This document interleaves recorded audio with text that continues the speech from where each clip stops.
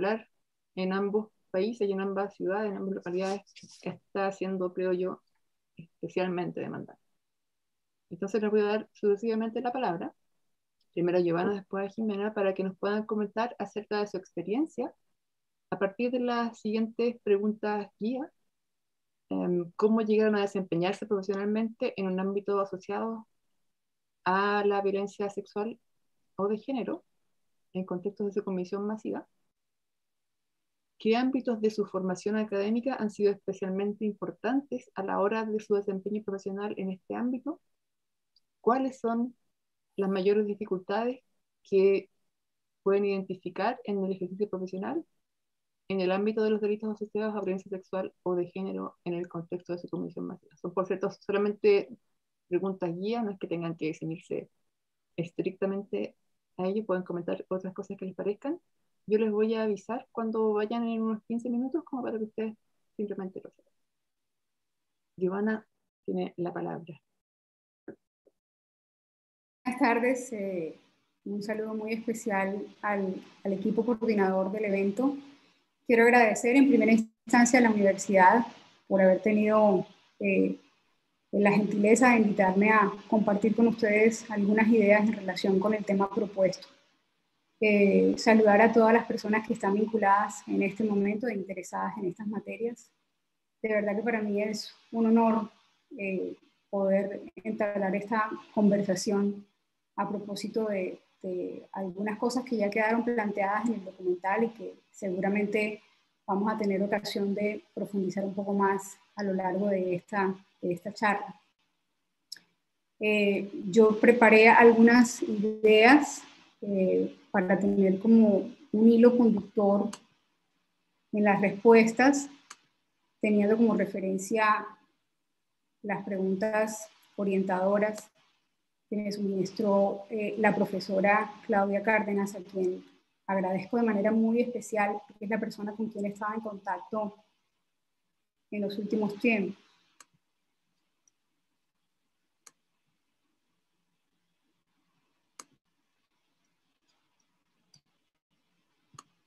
Em,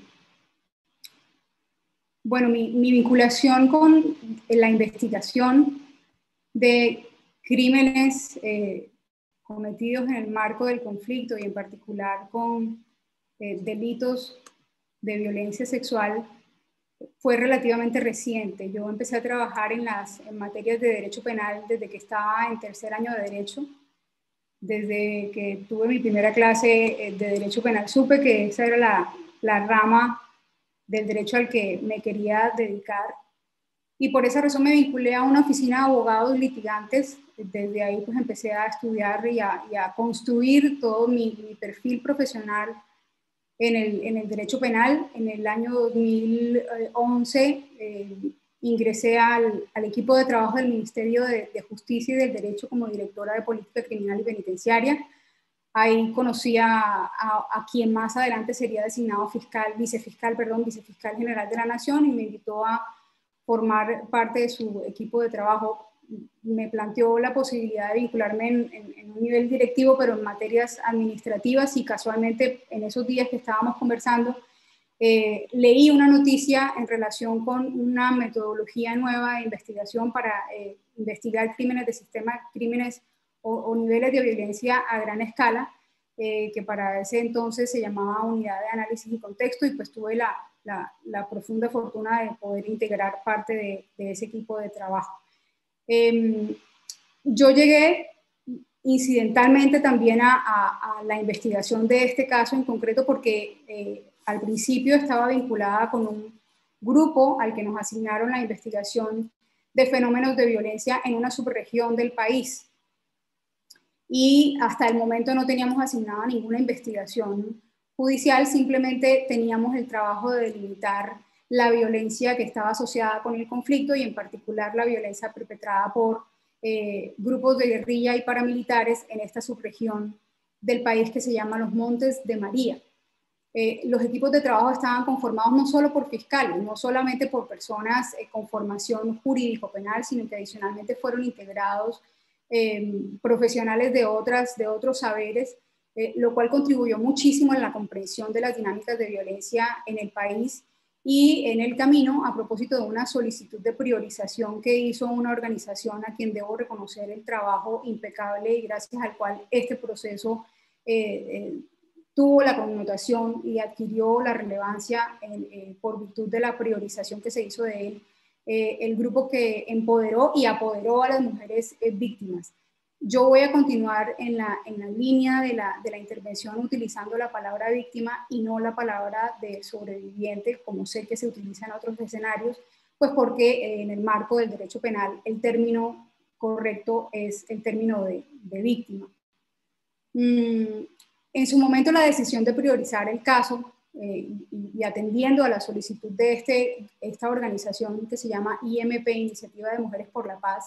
tuvo en cuenta algunas consideraciones de orden fáctico y contextual. Como nosotros ya veníamos entendiendo eh, el trabajo, por el trabajo de la delimitación de situación, la violencia que se vivía en esta subregión de Montes de María,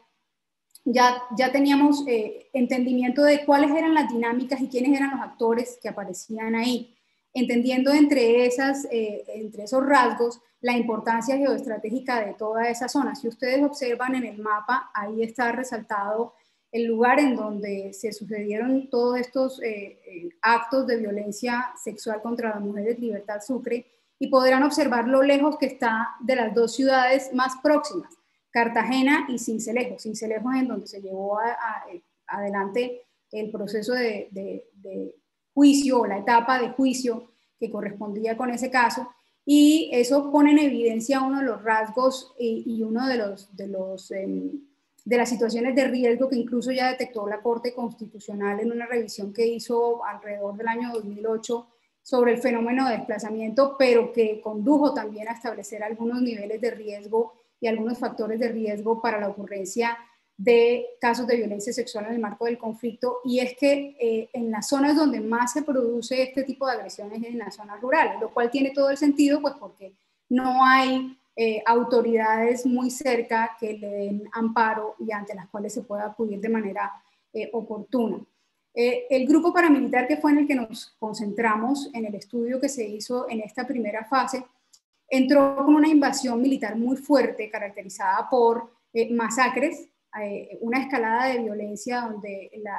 la, violencia extrema contra, contra la humanidad fue como el, punto de entrada, la forma o el método que ellos utilizaron para mm, invadir el espacio del Estado dentro de ese territorio. Entonces se caracterizó por la invasión militar. Cuando esa fase, por decirlo de alguna manera, logró cierto nivel de dominio, ya impusieron un control social y cultural. Ellos establecían qué se podía hacer y qué no se podía hacer en estas zonas e impusieron normas de comportamiento, subvirtieron los valores y por supuesto frente a las normas de comportamiento que ellos establecían, eh, determinaban cuáles eran las sanciones eh, al lugar cuando quiera que alguien transgredía esas normas que ellos habían impuesto. Se produjo, eh, en palabras más sencillas, una cooptación del Estado porque ellos eran la autoridad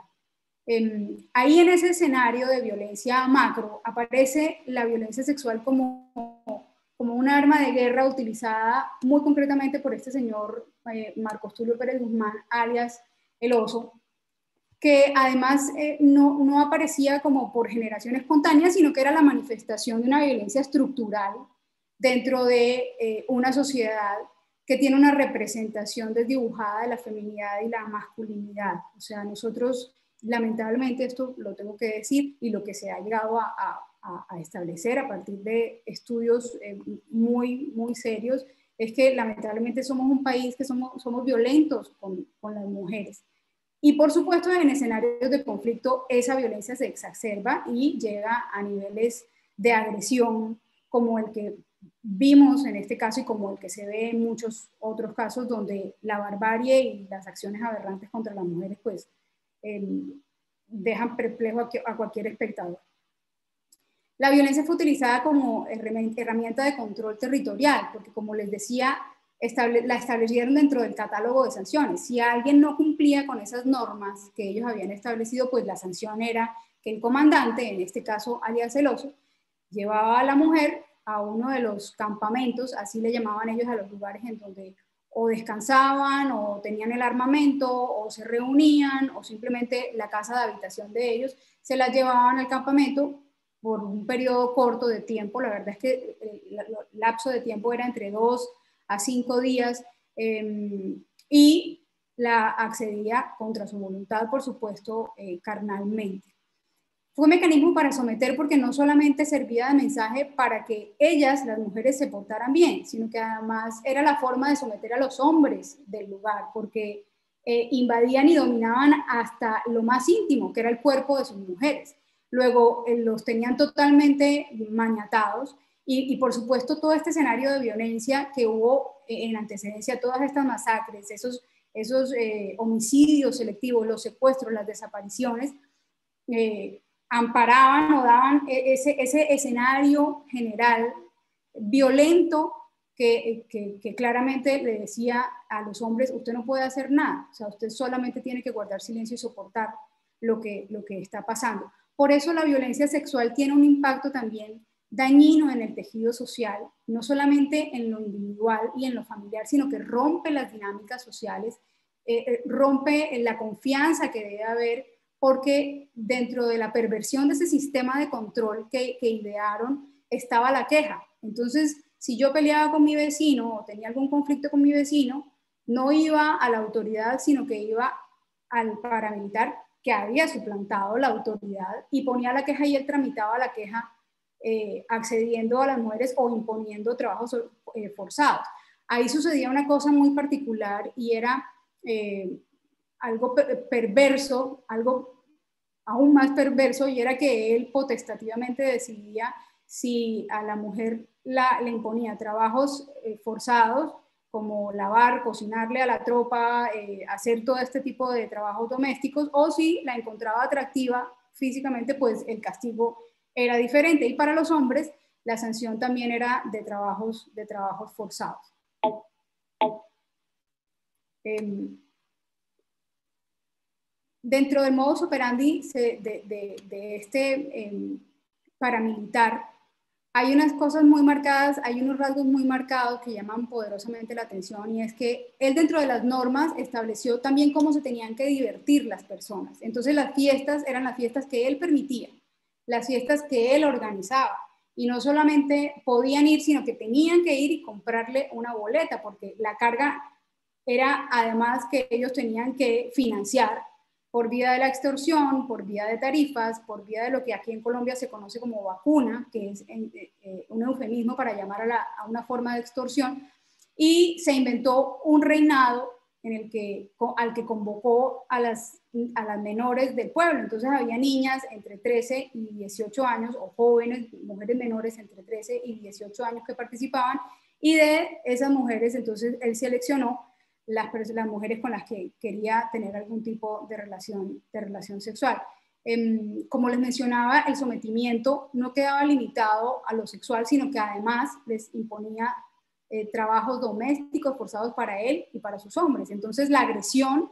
eh, se agravaba, por decirlo de esa forma, porque no solamente ellas tenían que compartir intimidad con él, que no la compartían, la entregaban de manera forzada claramente, sino que además le tenían que servir. Además tenían que lavarle la ropa y cocinarle a todos ellos. El sometimiento lo hacía en lugares eh, públicos, con lo cual queda en evidencia que sí era una herramienta, que sí era un arma, porque es que estaba mandando un mensaje a toda la comunidad. Normalmente la violencia sexual se comete en situaciones de clandestinidad. Eh, usualmente el perpetrador procura que nadie se dé cuenta, que nadie vea que está violando. Eh, pero en este caso, él las citaba en la plaza pública, las llamaba y las exhibía delante de todo el mundo, de manera que eh, eh, pues era una forma de amedrentar a toda la población. El sometimiento muchas veces llegaba a, a, vincular a las parejas y a los hombres de estas mujeres. Hubo casos en los que él le ordenaba al marido que le trajera la ropa a la mujer porque se la iba a llevar unos días a estar con él. Entonces, por supuesto, la familia y la relación de pareja quedaba totalmente fracturada después de un escenario de eso, porque a la mujer le quedaba eh, el, resentimiento de que su hombre no la protegió y al hombre le quedaba el resentimiento de que su mujer había estado había estado con, con otro hombre. Eh, la, la, sanción de las mujeres, em, de la voz de las mujeres, porque eh, ellos necesitaban mantener en impunidad todo lo que estaban haciendo. Entonces, en los pueblos, acá en Colombia, supongo que eso sucede en todos los pueblos de, de, todos los lugares, eh, el chisme, el voz a voz, el comentar absolutamente todo lo que pasa, es un asunto del día a día. Así, así, es, así funciona la, la, interacción de las personas que están, sobre todo en lo rural, y eso representaba un peligro para, la, eh, para el funcionamiento de la estructura ilegal y de todo lo que ellos estaban haciendo. Entonces, el, el, mensaje de él era aquí nadie dice nada, aquí nadie comenta nada, aquí nadie puede hablar y, y, nada puede salir del territorio, nada puede salir de las fronteras. Ustedes no pueden ir a otro pueblo a contar lo que está pasando aquí porque lo sancionamos. Y eh, otro rasgo que me llamó poderosamente la atención de este caso es la violencia de las mujeres contra las mujeres, que de eso poco se habla. Eh, ver dentro de, dentro de esa comunidad cuando una mujer hacía algo en contra mío, no me gustaba o me sentía ofendida, yo inmediatamente lo que hacía era ir donde el comandante a decirle que me habían ofendido, que me habían agredido para que el comandante tomara represalias contra ella. Entonces ya, ya no era un problema o un conflicto directo entre las dos mujeres, sino que se metía a este tercero ilegal, violento y agresor como el mediador de la situación que propiciaba pues, más violencia sobre el cuerpo de ellas. Eh, hecha, todas estas precisiones, entonces ahora entro a aterrizar eh, eh, una de las preguntas y es eh, cuáles son los ámbitos de formación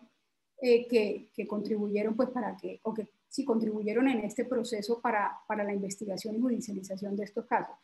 Por una parte, fundamentalmente toda la estructura académica en relación con el derecho penal. Y cuando me refiero al derecho penal, creo que es súper importante entender la fundamentación, los, los, cimientos constitucionales de para qué es el derecho penal, cómo funciona el derecho penal y cuáles son las garantías de todos los sujetos que participan dentro de eh, la investigación. Eh, no cometer errores que puedan invalidar las actuaciones es muy importante.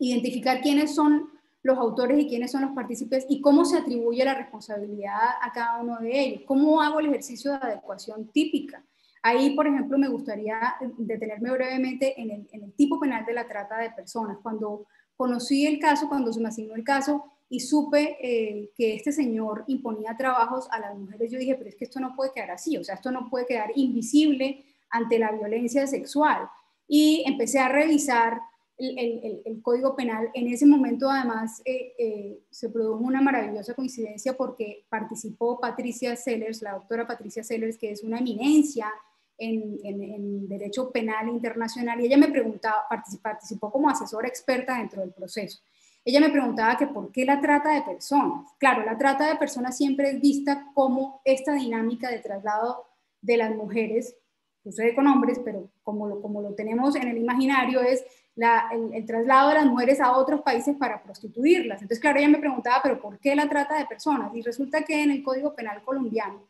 eh, los verbos rectores de la trata de personas permiten la eh, eh, adjudicación de responsabilidad cuando se imponen trabajos forzados. Entonces, todo este bloque de, de, de fundamentación en lo penal y el acompañamiento de otros, otras áreas del conocimiento que permitieron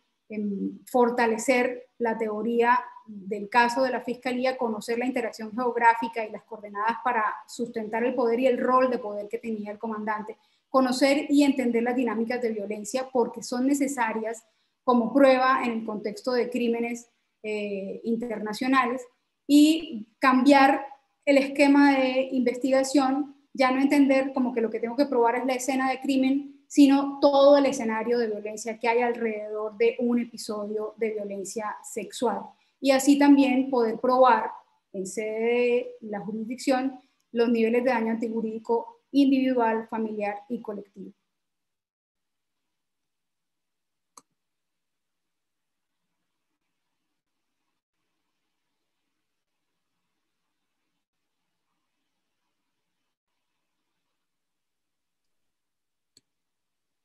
Yo lo dejamos hasta aquí por, como exposición inicial. Sí. Muchísimas gracias. y le doy la palabra de inmediato a Jimena. Son gracias. ejercicio. Muchas gracias, Claudia, muchas gracias a la universidad y un agrado poder compartir con Joana en este panel. Voy a tratar de ir em, intencionando de alguna forma esta conversación a partir de los tres temas que nos planteó Claudia eh, al inicio, y particularmente en torno a, este documental que tuve la oportunidad, como imagino muchos de los asistentes, de haber podido revisar antes y como nos decía Claudia, además vamos a tener la posibilidad, algunos de nosotros, de revisitar en, en los próximos días. Em, lo primero es comentarles que en el contexto nacional, en el, contexto chileno, y particularmente atendida, ¿no es cierto?, la temporalidad que se estableció para la incorporación del sistema acusatorio a partir del año 2000. Eh, a nosotros como Ministerio Público no nos correspondió liderar investigaciones que tuvieran que ver con casos de derechos humanos en el ámbito de, eh, de la dictadura. Vale decir, todo aquello que ocurrió en el periodo 73-90, en donde efectivamente tanto sentencias a las cuales han arribado ministros en visita, como fundamentalmente informes de derechos humanos y los informes de las comisiones de verdad y reconciliación, entre otros, eh, han dado lugar a el establecimiento o la, em, digamos, la constatación de que efectivamente en Chile durante ese periodo existió violencia generalizada de carácter sexual respecto de eh, mujeres que se encontraban en condición de prisión política. Y evidentemente eh, todo lo que aconteció durante ese periodo pudo revelar que la utilización de la violencia sexual, al igual como se observa en, el, en, este mismo documental, en distintas partes del mundo, en eh, escenarios de conflictos armados regulares o irregulares, en general es una forma, una, la utilización o un fenómeno eh, que de alguna manera eh, lo que hace es eh, imprimirle un grado mayor de dañosidad a actuaciones de violencia, en muchos casos de violencia estatal, que son formas también de reproducir en el contexto de, esta, de estas guerras internas, externas, regulares o irregulares, eh, ciertas eh, formas de violencia estructural existentes en sociedades de carácter patriarcal, exacerbando de alguna forma entonces esta sensación de dominación de género. Eh, y por lo tanto, actos de violencia sexual contra mujeres, contra sexualidades disidentes, nosotros las vamos a encontrar y lamentablemente transversalmente. Hago esta digresión inicial de que el Ministerio Público no le correspondió investigar esos hechos, por, eh, para efectos de poder dar respuesta a la primera pregunta que nos formulaba y es decir, de cómo nosotros, o en mi caso particular, yo como fiscal, que además lidero una fiscalía de delitos de alta complejidad desde el año 2016, he estado a cargo de otras fiscalías eh, territoriales en regiones y en Santiago desde el, el 2003 en adelante,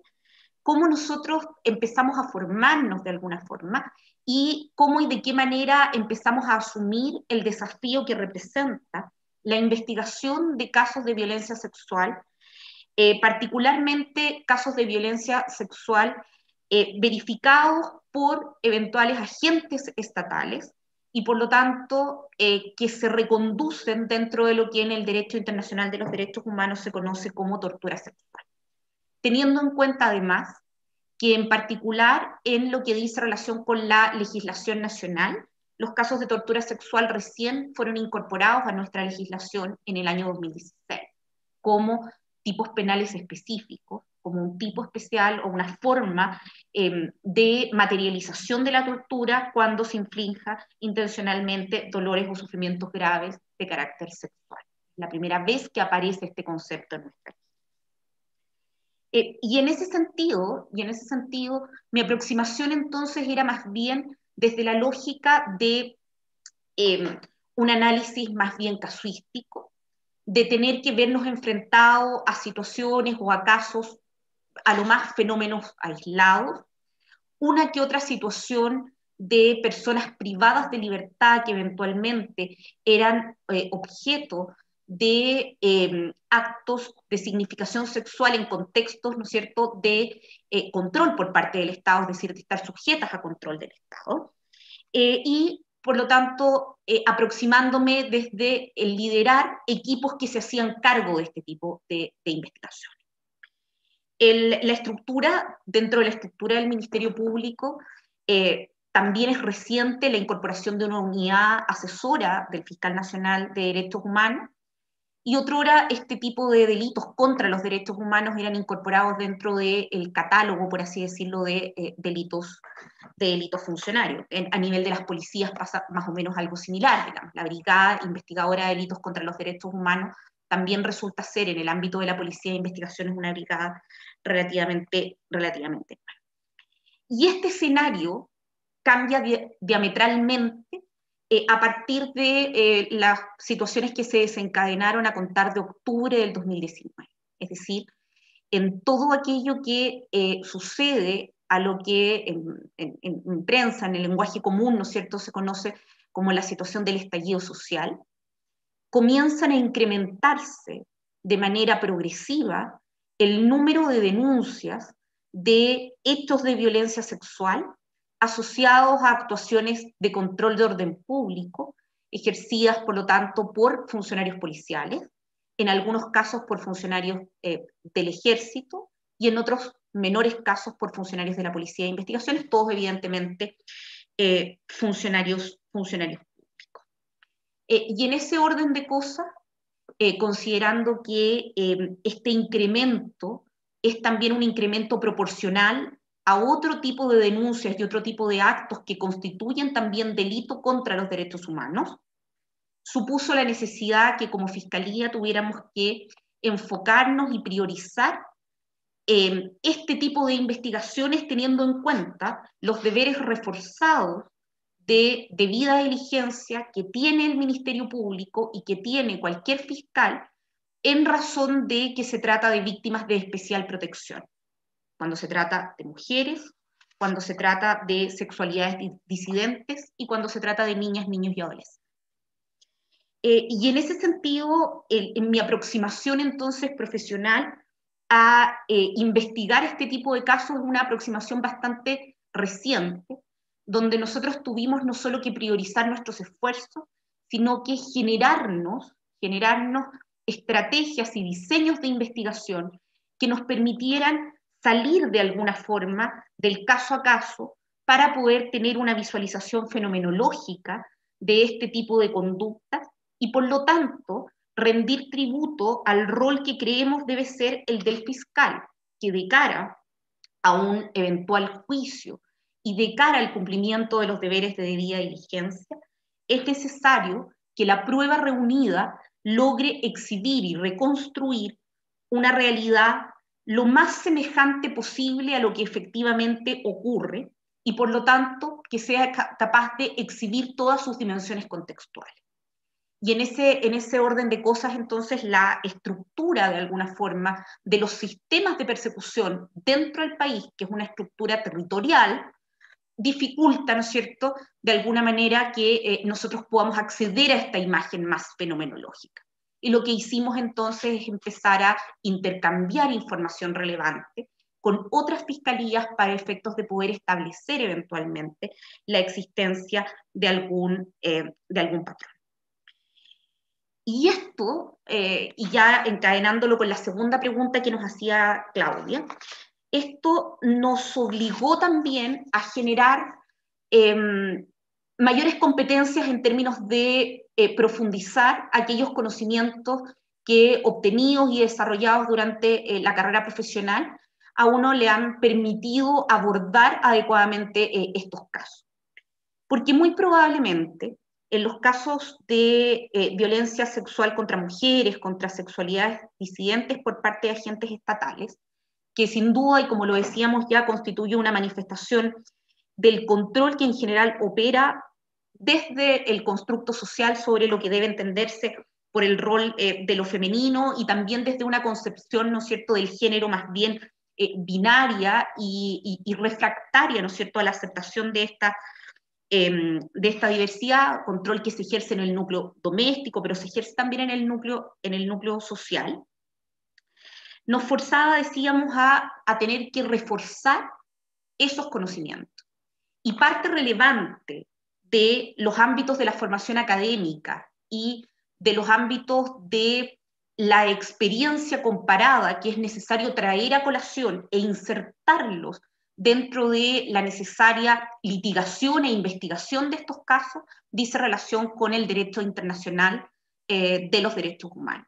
con una necesidad nuestra no solo de profundizar en el conocimiento del derecho internacional de los derechos humanos, sino que en argumentar y traer a colación eh, toda la regulación convencional para efectos de persuadir a nuestros tribunales, tanto en términos de la efectiva existencia de estos ilícitos, como también en la forma como estos delitos deben ser probados. Porque del mismo modo como tuvimos que quebrar de alguna manera los paradigmas existentes para salir del caso a caso y comprender este, esta, esta situación de carácter fenomenológico,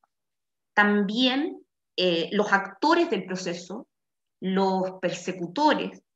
tenemos que modificar y quebrar los paradigmas e incorporar la perspectiva de género en la investigación y también en el juzgamiento. Y esto entonces fuerza a exhibir estos casos. Cuando digo exhibir no me refiero a mostrarlos públicamente, sino que me refiero a esta exhibición probatoria que se realiza en contexto de un sistema adversarial exhibir entonces estos casos efectivamente como casos de violencia de género, donde eh, lo que se hace es utilizar como un método de castigo frente a la voz política de las mujeres o de las sexualidades disidentes, frente a la participación política de las mujeres o de las sexualidades diferentes,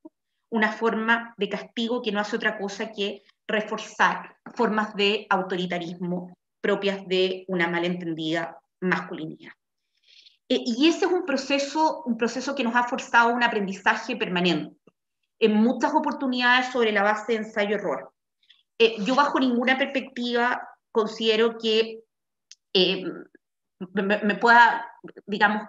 mostrar ni remotamente como una experta en estas materias. Creo que es un tema que nosotros tenemos que aprender permanentemente. Pero probablemente en ese mismo sentido y en esa misma línea, el mayor desafío, el mayor desafío constituye en transmitir, en centrar, en tener más de estas conversaciones, pero no solo tener estas conversaciones en el ámbito académico, sino que llevar efectivamente estas conversaciones al ámbito práctico. Que las investigaciones que nosotros realicemos materialice efectivamente la perspectiva de género como una forma de investigar, una forma de investigar que no solo restituye a la víctima en el concepto de dignidad y en el concepto de reforzada, reforzado deber de, em, de protección y de promoción de sus intereses que tiene el Ministerio Público, sino que fundamentalmente porque la perspectiva de género también es aquello que nos va a permitir mostrar estos casos en su correcta dimensión como casos efectivos de violencia de género de violencia institucional de género y respecto de la cual los órganos del Estado tenemos deberes de prevención, sanción y erradicación conforme a los instrumentos internacionales. Yo diría que ahí radican los mayores desafíos, pero a su vez también las mayores dificultades. No tenemos sentencias previas en Chile a las cuales echar mano y eh, hemos tenido también que eh, idear, crear formas de investigación, formas de acreditación y probablemente vamos a tener que probar formas distintas también de producción de prueba cuando se trate de llevar estos casos, estos casos a juicio. Creo que conversaciones como la que hemos tenido el día de hoy, aprendizajes como los que podemos tener de la situación de Colombia y de otros eh, países con los cuales también podemos conectarnos, la cooperación internacional en esto, lo que eh, puedan aportar las redes iberoamericanas, eh, de fiscales que tiene la red de trata, por ejemplo. Nosotros participamos eh, también activamente con algunos fiscales en esas, en esas, en esas mismas redes, nos pueden eh, permitir traspasar de alguna forma esas experiencias y hacer de esas experiencias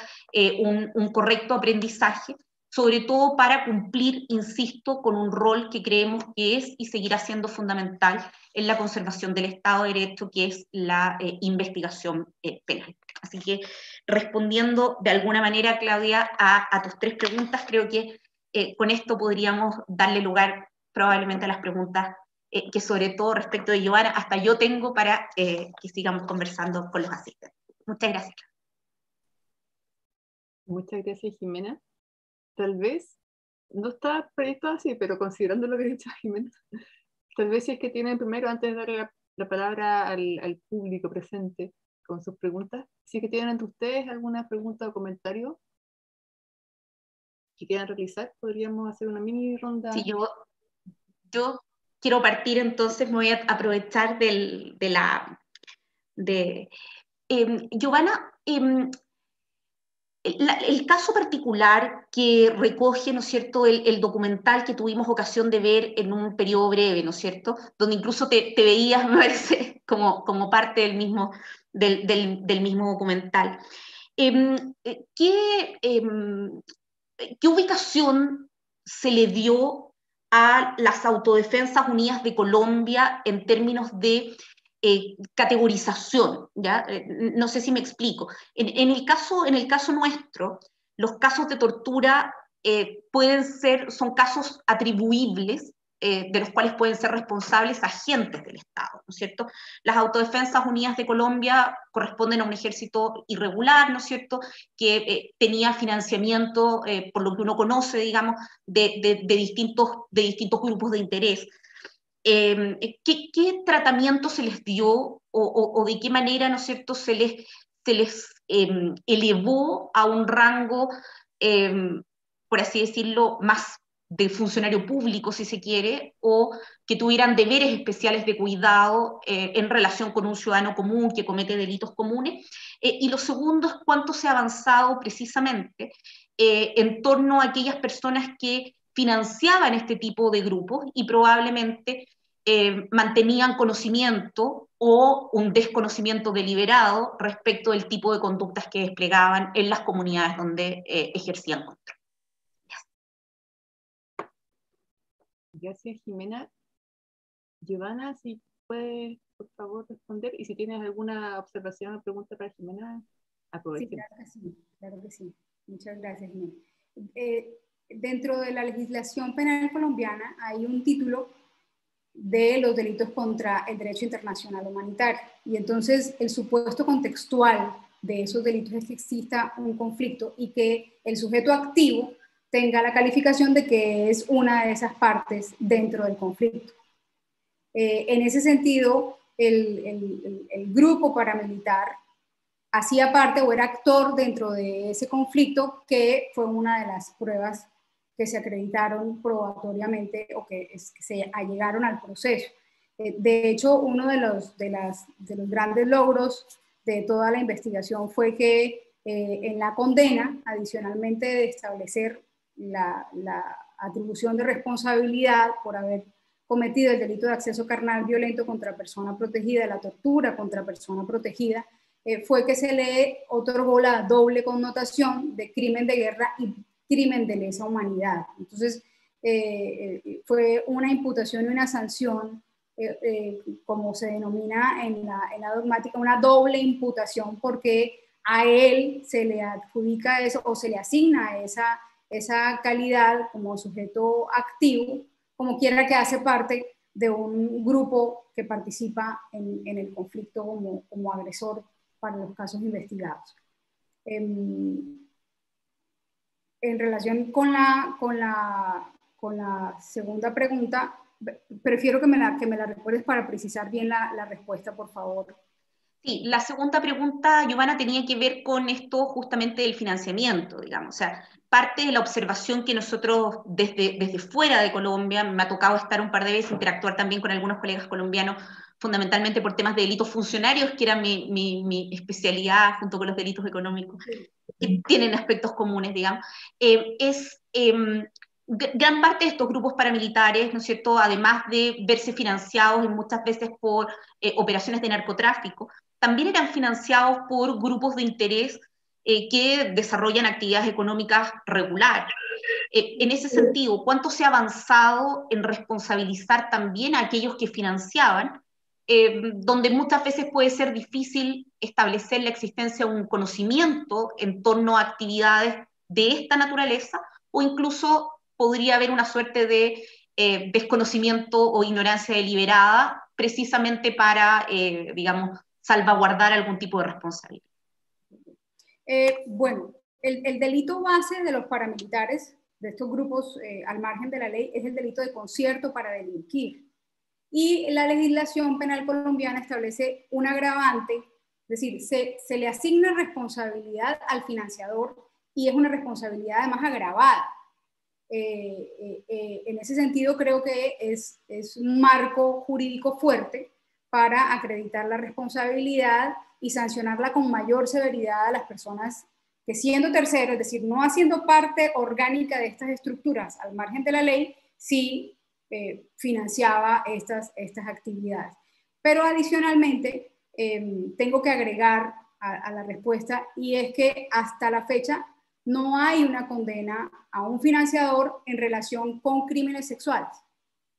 Sí la hay respecto de otros crímenes, pero no, por ejemplo, respecto de masacres, sí aparecen condenas muy fuertes eh, de, terceros que financiaron y que auspiciaron eh, la, actividad de estos grupos paramilitares, pero en relación con la violencia sexual hasta ahora no se ha producido una condena de terceros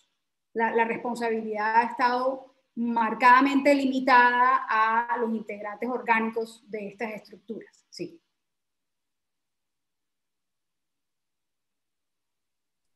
Muchísimas gracias, Giovanna. No sé si tienes alguna observación o pregunta para Jimena. Yo solo tomé nota porque me pareció muy interesante, pero no, no, no, no tengo, no tengo pregunta. Muchísimas gracias. Vamos a pasar entonces a las preguntas de nuestro público presente virtualmente. Y para eso le voy a dar la palabra al ayudante del Departamento de Ciencias Penales, Lorenzo Ramongier, que nos ha estado ayudando en la recolección de esas preguntas. Lorenzo, por favor, coméntenos las primeras tres preguntas, por favor, para ir a tres, si les parece. Estamos respondiendo y luego las próximas tres. Una de las primeras tres preguntas eh, está dirigida para ambas, así que voy a empezar por esa primero. Eh, es una pregunta realizada por Karina Fernández Neira. Señala, buenas tardes para ambas expositoras. ¿Qué dificultades enfrentan para perseguir y acreditar? Imagino que acá eh, falta la palabra conductas o prácticas de encubrimientos de delitos de especial gravedad y la aquiescencia de agentes estatales para, eh, el caso de las torturas y violencias sexuales. En el mismo sentido, ¿qué tan relevante es acreditar el escenario de violencia para superar tales obstáculos? Esa es la primera pregunta para ambas expositoras. Hay una pregunta, que es la primera que se realizó, para Giovanna Prieto. ¿Qué tipo de normas comportamentales impuso el oso a los habitantes del territorio? Y la tercera pregunta de esta ronda es para eh, Jimena Chong. Buenas tardes. Quería preguntarle, ¿se ha pensado encuadrar la violencia sexual política en Chile durante el estallido como un delito de lesa humanidad? Muchas gracias. Em, le voy a dar la palabra primero a Giovanna y luego a señor. Giovanna, cuando quieras, pues. Ya,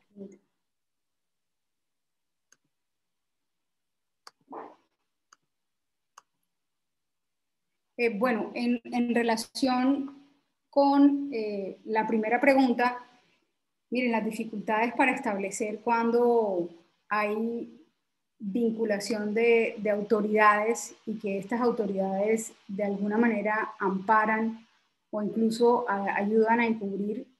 pues es que esa, esa es una de las grandes, eh, uno de los grandes problemas que tienen estas, estas investigaciones y por eso durante tanto tiempo no hay ninguna actividad. E, en el caso, por ejemplo, concreto, nosotros empezamos a investigar este, este, el, comportamiento de este señor 12 años después de ocurridas las, las agresiones. Eso necesariamente compromete eh, eh, la responsabilidad de las autoridades que estaban alrededor, porque claramente se tenía que saber lo que estaba sucediendo y si no pasó nada y si no hubo alguna actividad judicial en torno a eso es porque las autoridades fueron, las autoridades fueron, fueron permisivas. a eso contribuyen el silencio de las víctimas y el silencio de la, de la comunidad en general que no quiere denunciar porque no cree en, las, en, las, en la respuesta eficaz de, de, las autoridades. Pero yo sería irresponsable si señalara en particular, por ejemplo, que en ese caso concreto fue responsable tal autoridad o X autoridad, porque no, no, no se llegó a ese nivel de indagación dentro de la investigación. Sí conozco eh, otros casos eh, en relación con otros patrones de criminalidad en donde se ha puesto en evidencia la participación activa de autoridades, por ejemplo, del ejército, por ejemplo, de la policía, eh, incluso de miembros de, la fiscalía. Pero en, relación con este caso, no hubo ninguna prueba ni ninguna evidencia que nos permitiera con fuerza vincular la responsabilidad de algún servidor o judicial o, o, del Estado porque hiciera parte de la, de la, fuerza militar que estaba presente en la zona. Muchas gracias. Y la, entonces, perdón, le daré la palabra ahora a Jimena para que se haga cargo de las preguntas. Bueno, primero, muchas gracias a Karina Fernández por, por, por la pregunta, por plantear eh, un poco eh, este tema a ver, eh, primero hago el, digamos, la salvedad de que gran parte de los casos eh, derivados desde el 19 de octubre en adelante, en esto que nosotros contextualizamos, ¿no es cierto?, bajo este nombre de estallido social, son casos que actualmente se encuentran en curso, ¿ya? Por lo tanto, eh, no podemos entrar en un nivel de detalle como por ejemplo el que nos ha podido entregar Giovanna a propósito de este caso que en el mismo documental aparecía que respecto de algunos de los involucrados ya se encontraban, se encontraban sentenciados. Por lo tanto, me voy a ver forzada a tener que conversar eh, esta pregunta, responder esta pregunta sobre las dificultades y, y las acreditaciones en torno a conductas eventuales de encubrimiento o de aquiescencia de funcionarios públicos, en cuyo caso podrían ser pares o superiores jerárquicos respecto de conductas eh, investigadas. Eh, lo primero a, tener en cuenta es que tratándose de casos de violencia institucional, necesariamente la correcta, al menos desde nuestra óptica, necesariamente la correcta forma de abordar estos casos desde el punto de vista investigativo implica no cerrarse a ningún tipo de participación eh, punible. Vale decir, no solo eh, centrarse en la investigación de los autores directos, sino también estarnos a otro tipo de participaciones, entre esas participaciones hipótesis de encubrimiento, incluyendo eventuales participaciones eh, ya no accesorias a la conducta principal, sino que de otros delitos que puedan cometerse en el contexto de la investigación, incluyendo conductas de obstrucción a la investigación. Vale decir, son casos que deben ser investigados con una redoblada, una redoblada preocupación, por así decirlo, eh, en términos de eh, los deberes de los órganos públicos que muchas veces parte de sus propios, eh, digamos, de, sus propios miembros pueden verse involucrados, que son aquellos que muchas veces deben proporcionar la información o facilitar la realización de algunas de las, de las diligencias. en ese sentido, Evidentemente son líneas de investigación que tienen que permanecer abiertas, parte de las alertas a las cuales debe atender una investigación en relación entonces con este tipo de conductas de encubrimiento o, de eh. Es decir, las investigaciones no debieran cerrarse exclusivamente a la determinación de los autores materiales, sino que para comprender correctamente los fenómenos de violencia eh, institucional los fenómenos de delito contra los derechos fundamentales y particularmente de conductas que representen violencia sexual contra mujeres o sexualidades disidentes, evidentemente requiere que se ponga atención o foco sobre estas otras formas posibles de eh, participación.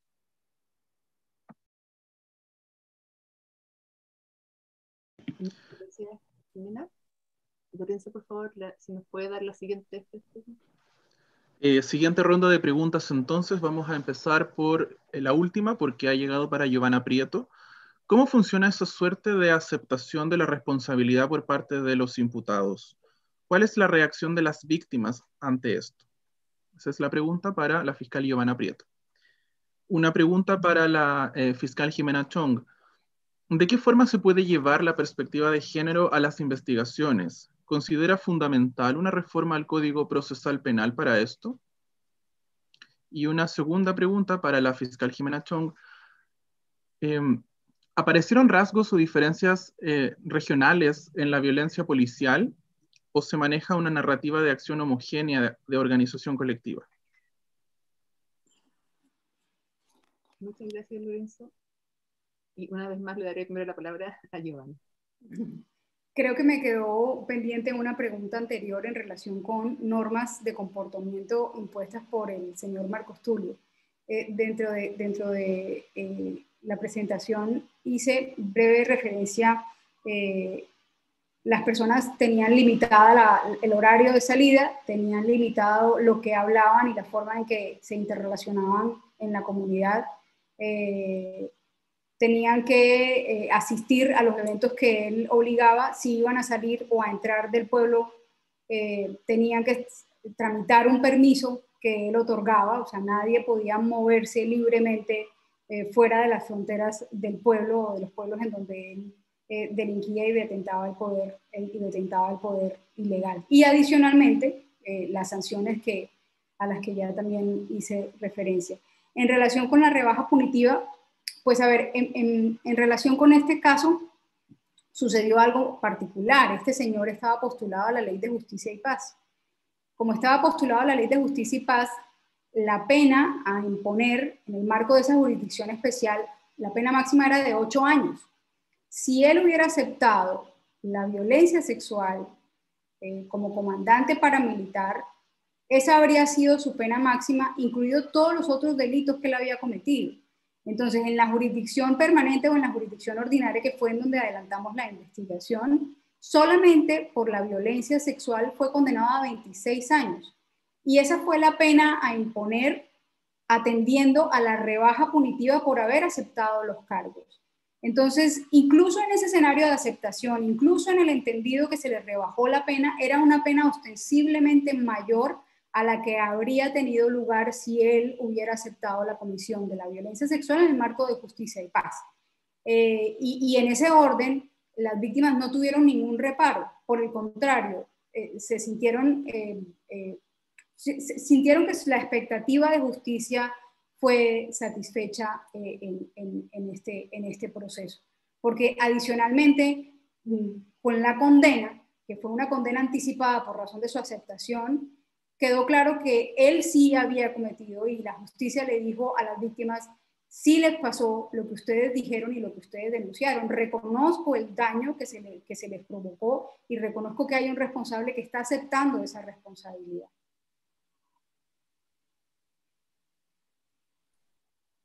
Muchas gracias, Giovanna.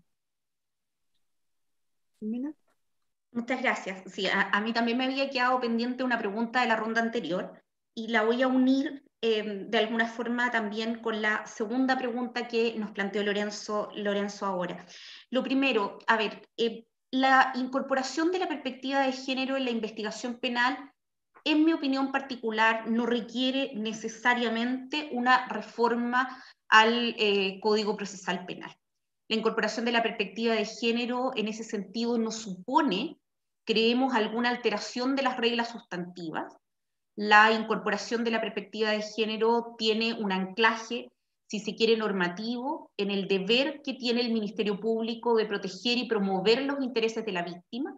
y desde el punto de vista constitucional en el hecho de que la eh, incorporación de la perspectiva de género en la investigación y el juzgamiento se deriva, eh, entre otros instrumentos eh, internacionales, de la Convención para la Erradicación de todo tipo de violencia contra la mujer, eh, de la cual es responsable particularmente el Estado y por lo tanto, si alguna actuación de la investigación vulnera y violenta eh, los derechos fundamentales de una mujer, lo mismo que un juzgamiento, evidentemente aquello se encuentra marginado de estos deberes que emanan, ¿no cierto?, de eh, estos instrumentos internacionales y en esa línea entendemos nosotros que no se requiere algún tipo de modificación. Creemos que las disposiciones procesales penales tienen la elasticidad suficiente para admitir la perspectiva de género. Primero porque como órganos públicos estamos obligados a eh, maximizar nuestros esfuerzos en aras a la efectividad de la utilización de los recursos públicos que nos son puestos sobre la mesa. Y la correcta investigación de los delitos de violencia contra las mujeres, también contra niños, niñas y adolescentes, también contra sexualidades disidentes, eh, necesariamente debe hacerse considerando ese factor de género como un factor determinante en la comisión del delito de que se trata. De otra forma, estamos siendo ineficientes en la manera de investigar adecuadamente esos delitos. Y por otro lado, existen reglas, eh, a propósito ya del juzgamiento con perspectiva de género, existen reglas procesales que, eh, con ocasión de la preparación del juicio oral, por ejemplo, determinan la posibilidad de excluir por vulneración de garantías, en este caso de la víctima, derechos fundamentales, por afectar a derechos fundamentales de la víctima, cualquier elemento probatorio que pudiera incorporar un sesgo de género y que llevara al tribunal a poder resolver por esa vía. El punto es que esas discusiones, de alguna manera, tenemos que abrirlas y abrir también medios probatorios que eh, efectivamente sean capaces de acreditar estos roles de género como determinantes de la comisión de los delitos finalmente eh, por ahí quizás va eh, los, mayores desafíos, pero al menos desde mi perspectiva no visualizo la necesidad de modificaciones al Código Procesal Penal. Eh, se nos consultaba también en la primera ronda sobre si es que estos casos de violencia sexual contra mujeres en contexto de control de orden público a propósito del estallido social, los habíamos mirado no como crímenes de lesa humanidad volviendo a hacer la misma aprehensión y prevención que hice de Nantes. Los casos todavía se encuentran en investigación. El fiscal nacional en particular ha señalado que todos los casos de investigación de delitos de lesa humanidad quedan radicados en una fiscal regional, que es la fiscal Claudia Perivasic eh, de la Fiscalía eh, de Valparaíso. Evidentemente, en la medida que cualquier delito cometido en contexto, ¿no es cierto?, de eh, los delitos eh, contra los derechos humanos y aquellos que están recogidos en la ley de delitos de lesa humanidad eh, pueden constituir una conducta de esas características punible bajo la ley chilena en tanto se conforme con los requisitos, ¿no es cierto?, de eh, sistematicidad o generalidad que prevé, ¿no es cierto?, la norma, la norma en cuestión sobre si hemos encontrado o no rasgos diferenciadores o, o, no, o equivalentes a nivel eh, regional que pudieran hablar, ¿no es cierto?, de una narrativa más o, menos, más o menos común. Más allá, insisto, del hecho de que no podemos referirnos por la naturaleza de las investigaciones a los resultados o los hallazgos de las mismas, lo que sí podemos señalar es que ha existido un esfuerzo de parte de quienes llevamos adelante estas investigaciones y también de la Unidad de Derechos Humanos de la Fiscalía Nacional para poder recoger eh, a nivel central todos los elementos que eh, determinan este tipo de conducta de manera tal de poder visualizar la eventual existencia o no de algún tipo de patrón. Eh, patrón que pueda servir para la identificación de eventuales autores,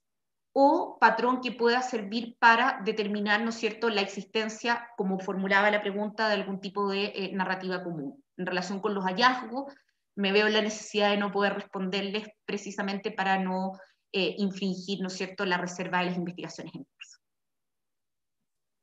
Muchas gracias, Jimena, y es comprensible la reserva. Em, vamos a dar entonces la palabra a Lorenzo para una siguiente y seguramente ya final ronda de, preguntas. Es una pregunta para ambas. Eh, ¿Cómo ven la configuración de una responsabilidad del superior en los casos de violencia sexual? Luego, estas eh, preguntas son para la fiscal Jimena Chong. ¿De qué forma como, eh, perdón, es una pregunta respecto de la violencia sexual en contexto eclesiástico en Chile eh, pregunta acerca del rol de la Fiscalía en este tipo de eh, fenómeno y además eh, acerca de la posibilidad de encauzar a los encubridores. finalmente, para la fiscal Jimena Chong, ¿de qué forma, es una pregunta que hace una estudiante, de qué forma como estudiante puedo empezar a interiorizarme en la investigación y persecución de este tipo de delitos? Muchas gracias, Lorenzo. Y le daré de la palabra a Joana, que se puede referir, creo yo, a cualquiera de las tres, porque, claro, eh, la persona escribió que escribió que era para Jimena, pero tal vez son temas que el consejo o, en fin, puede también ser relevante que pueda llevar a, aprovechar su experiencia para compartir. Muchas gracias. Bueno, gracias. En relación con la configuración de la responsabilidad superior, eh, miren, ahí en la, en la parte que daba respuesta de eh, áreas de formación que se necesitan para trabajar en esto, yo me refería a la dogmática penal. En, Colombia, por ejemplo, hay una nutrida jurisprudencia sobre este tópico. Y eh, curiosamente, dentro de la postulación que tuvimos nosotros en el proceso, lo que planteamos para atribuir responsabilidad en algunos casos en donde el, autor material no fue el señor Marco, Marcos Tulio, no fue el oso, sino que fue uno de sus subalternos, pero también se le atribuyó responsabilidad a él desde su rol como comandante. En la postulación que presentó la Fiscalía se argumentó todo a partir de la coautoría, de la coautoría en la medida en que él tenía posición de garante al generar o al, eh, sí, al propiciar una situación de riesgo como, como él crea una situación de riesgo antijurídico, asume la posición de garante eh, eh, para proteger a la población que posiblemente eh, era víctima y que eventualmente lo fue. pero en juicio, al, al juez, a la juez, a la jueza le pareció que se estructuraba mejor la responsabilidad acudiendo a la dogmática de la autoría mediata en aparatos organizados de poder. Y les cuento esto para significar eh, una cuestión que se puso de presente hace poco en un foro que se hizo acá en la Universidad de los Andes, en donde los tres expositores, los tres eh, eh, panelistas estuvieron de acuerdo en lo siguiente. Mire, las herramientas jurisprudenciales y las herramientas doctrinales están ahí y son fuertes ustedes como abogados tienen, o, los servidores judiciales que se encargan de eso, tienen que em, especializarse y ser muy fuertes en su argumentación, porque en últimas, de cara a la sentencia, no fue relevante la postulación que hizo la fiscalía. La fiscalía le habló de una coautoría y el juez se fue por el lado de la, de la autoridad inmediata en aparatos organizados de poder y el resultado fue una condena y eso no tiene mayor impacto en punibilidad. Entonces, mi invitación, que es una respuesta también a la pregunta, es, pues, hagan la construcción argumentativa, bien sea por una o, cualquiera de las dos líneas que, he planteado aquí, pero soportenla de manera adecuada con base en las pruebas. Porque están, están esas dos opciones dogmáticas que, se, que, están ya suficientemente desarrolladas para, para esas materias. Muchísimas gracias, Giovanna. Jimena, por favor. Gracias, Claudia. A ver, em, en torno a las probabilidades o a las posibilidades de configuración de responsabilidad de los superiores, yo diría que la legislación chilena ofrece eh, ciertas herramientas eh, normativas, digamos, y, y, sumándome a lo que dice Giovanna y también algunas interpretaciones dogmáticas que pudieran dar ciertas claves o que siguiendo ciertas pautas podríamos llegar a establecerlo. Finalmente, todo va a depender de la eficacia que tenga eh, la, investigación y de los antecedentes que puedan acreditar o desacreditar la eventual responsabilidad superior. Lo importante quizá es, eh, eh, vuelvo al punto que ya había tratado en una, en una respuesta anterior, las investigaciones debieran enfocarse, y ese es un poco el esfuerzo que nosotros intentamos hacer al nivel que a nosotros nos corresponde, en poder desentrañar de la manera más eh, acorde a la realidad posible la, la, realidad, incluyendo la realidad de mando existente al momento en que se comete el, el, el ilícito. Y luego determinar si aquella realidad de mando satisface o no satisface alguno de los presupuestos o eh, existen eh, otro tipo de justificaciones que excluyan dicha responsabilidad. Em, e, en ese sentido, y lo engancho con la, con la segunda pregunta, donde nos hablaba el rol de la Fiscalía en encauzar, el rol de la Fiscalía tiene que enmarcarse necesariamente en la adecuada combinación entre el, el, respeto irrestricto, ¿no es cierto?, al principio de objetividad, pero también en la maximización el ejercicio de las facultades investigativas en aras a determinar la forma más em, acorde a cómo los hechos efectivamente ocurrieron. Y si de esa forma, lo más acorde posible a la realidad de cómo los hechos efectivamente ocurrieron, entrega datos verificables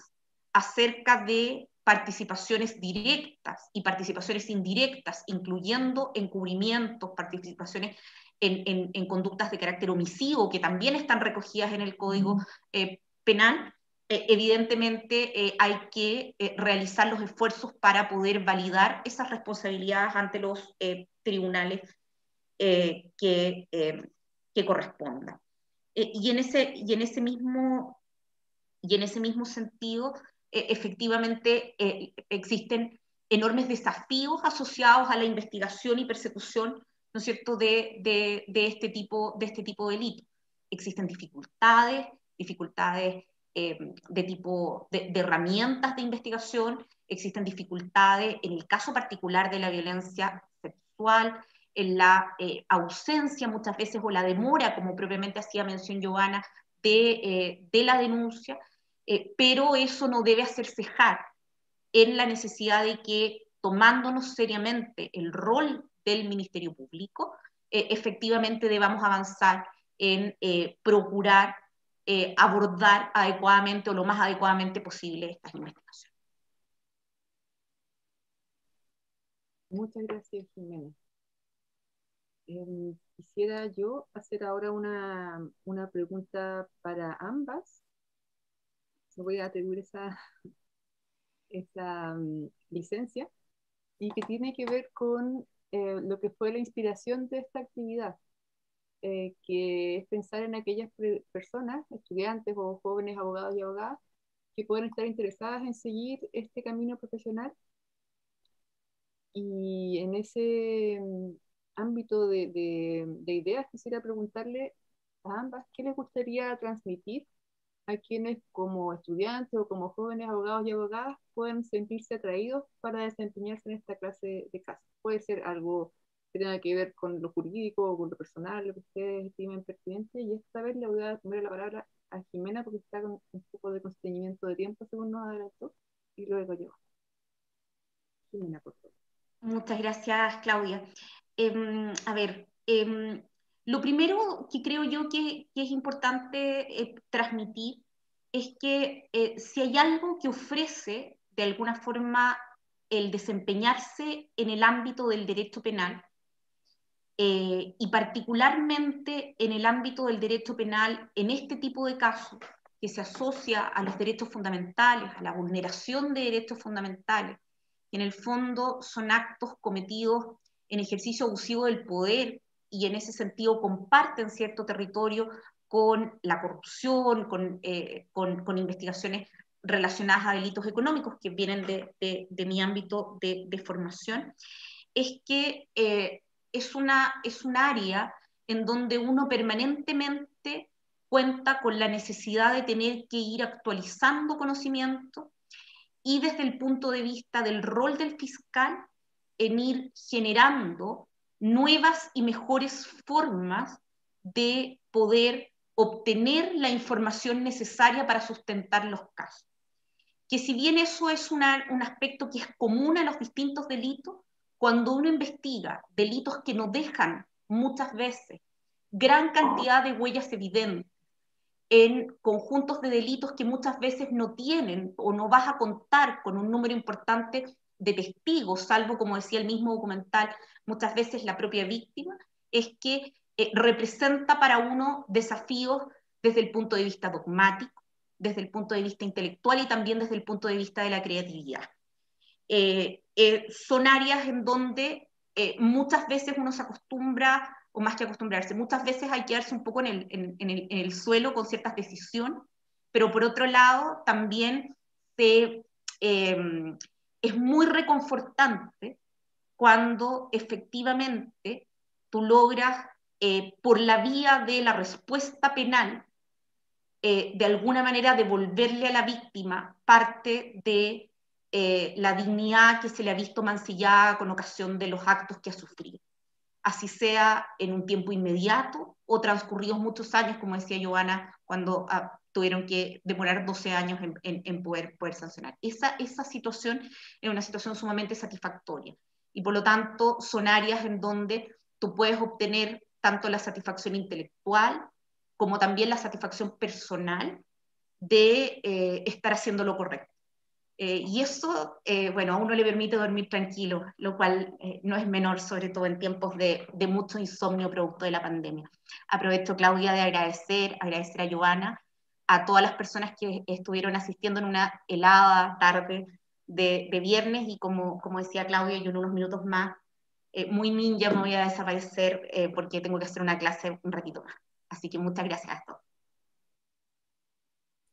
Muchas gracias, Jimena, por tener la movilidad de compartir toda la experiencia. Em, y por favor, le doy la palabra a Jimena, a Giovanni. Eh, bueno, yo creo que, que mm, mi primera recomendación o mi primera sugerencia es que siempre tengan como norte, como guía y como camino la justicia material. Es decir, eh, tratar de hacer llegar a personas que por las circunstancias eh, de la vida hayan sido víctimas sobre todo de, esta, de, estas, de estos fenómenos de violencia a gran escala y que se caracterizan justamente porque son personas eh, en condiciones o en situaciones vulnerables, entender que hay que entregar una respuesta de justicia material. y hago mucho énfasis en esto porque em, a veces en estas estructuras verticalizadas se nos olvida eh, o, creemos que solamente hay una forma de hacer las cosas y encontramos en la ley, encontramos en las formas limitantes. Eh, por ejemplo, ahorita em, Jimena hacía referencia a que ella no creía que fuera necesario hacer una modificación en las normas, en las normas procesales para incorporar el enfoque de género. Comparto totalmente esa, esa posición. Cuando un abogado tiene fuertes cimientos y conoce el fundamento, eh, los fundamentos constitucionales del proceso, conoce el sistema normativo de la Constitución que rige todo el proceso, no sale corriendo a pedir que le modifiquen un artículo, no sale corriendo a pedir que le modifiquen el código de procedimiento, sino que sabe que ya tiene unas obligaciones de rango constitucional que deben orientar su actuación. Y en ese sentido, las formas del proceso e incluso el principio de legalidad, si se quiere y si se me permite el ejemplo, eh, no es una limitación, sino es eh, un aliado, una, una, herramienta que sirve a los propósitos de justicia material. los servidores judiciales tenemos ese compromiso ético con las víctimas de decir qué fue lo que pasó y no limitarnos a, a dar una, una condena o a procurar una condena que se limite a una cuestión básica y solamente de las personas que estuvieron en esa escena del crimen, sino poner de presente todos los patrones de violencia que estuvieron eh, amparando esa, esa, ese, esa, esa, agresión de la que fue víctima. Si se me permite, yo quisiera, eh, aprovechando en estos momentos de, de, de, pandemia, algo así como que el diagnóstico tiene no solo que describir el virus, sino que además tiene que describir el sistema inmunológico que permitió que ese virus atacara ese cuerpo de esa forma. Entonces, eh, esa, esa obligación ética que nosotros tenemos como servidores tiene que ser siempre el norte de nuestra actuación. Los invito a que consulten otros saberes. La formación académica de los abogados siempre es muy estricta, siempre es muy eh, consultando las fuentes. Eh, las fuentes me refiero a las fuentes jurídicas, a la ley, a la jurisprudencia y a, y a la doctrina, pero invitemos otros saberes para comprender las dinámicas de estos fenómenos de violencia a gran escala, porque de otra forma nos vamos a quedar cortos. No va a ser suficiente para una comprensión integral de lo que pasa. Em, enfóquense mucho en trabajar la parte probatoria, en, volverse expertos en cómo eh, utilizar el esquema y toda la teoría probatoria para poder eh, eh, acreditar la ocurrencia y la responsabilidad, también en línea con lo que decía Jimena anteriormente, a no, a no quedarnos en, en un nivel pequeño, en un nivel precario de responsabilidad, sino abarcar todas las formas de responsabilidad posible para que, para que todas las personas que propiciaron y que auspiciaron la ocurrencia de estos fenómenos reciban pues una, una condena ejemplar. Em, a, a, fortalecer la parte emocional, eh, pues así lo, así lo puso incluso de presente eh, Claudia en su pregunta, porque dijo, no solamente se limiten a lo jurídico, no solamente se, se limiten a lo académico. Yo creo que las personas que nos dedicamos al estudio de estos fenómenos tenemos que eh, ocuparnos y, dedicar un poco de tiempo a fortalecer nuestra parte emocional, porque necesitamos ser muy fuertes. El, drama con el que nos enfrentamos es, eh, yo, creo que uno no, se, uno no, aunque se lo digan, no se alcanza a imaginar hasta que no está frente a un caso de estos. Entonces, sí, eh, trabajar mucho en la empatía, en, ver al, otro una persona que necesita, en, ser buenos, buenos seres humanos y en servir. Es que somos servidores, por eso la palabra es ser servidores, somos servidores judiciales y el trabajo de nosotros está llamado a eso, a servir y en la medida de lo posible em, lograr un equilibrio en una, en una sociedad que por, que por naturaleza es, es injusta. La, sociedad y los seres humanos, nuestra, nuestro sistema es, es, un sistema injusto y entonces quienes nos dedicamos a estas áreas pues tenemos el compromiso de, en la medida de lo posible, procurar algo de equilibrio en esos escenarios de, injusticia. Muchas gracias, Giovanna. Y quiero volver a agradecer a ambas invitadas que hemos tenido esta tarde, la fiscal Giovanna Prieto, la fiscal Jimena Chong, por su generosidad en compartir sus experiencias em, tanto en los casos como en ámbitos más, más generales creo que nos han abierto una ventana a lo complejo que es la labor, pero también a lo satisfactorio, porque en ambas se nota una pasión y una convicción por lo que hacen que eh, se transmite a quienes podemos escuchar. Así que les agradezco también por eso. También agradezco a quienes nos han hecho preguntas, que han manifestado su interés en conocer más. Lamentablemente no hemos alcanzado a formular y responder todas las preguntas, pero les agradecemos eh, también ese interés manifestado de esta manera. Y para terminar, quisiera aprovechar la oportunidad para agradecer también al Departamento de Ciencias Penales de la Facultad de Derecho de la Universidad de Chile, que nos ha permitido, a través de su consejo, contar con la licencia para la proyección de hoy del documental. Lo mismo que la Dirección de Comunicaciones y a Anne Schroeter de Artworks Project, que nos han apoyado en la organización. Y por último, a la abogada Karina Fernández, quien fue la persona que vino con la idea de organizar una actividad en este formato que vamos materializada hoy. Así que a todas estas personas y a todos los presentes una vez más, muchas gracias, muy buenas tardes y muy buen fin de semana. Giovanna, especialmente muchas gracias por estar comunicada con nosotros desde Colombia. Muchas gracias a ustedes, de verdad que sí, muchas gracias. Hasta pronto.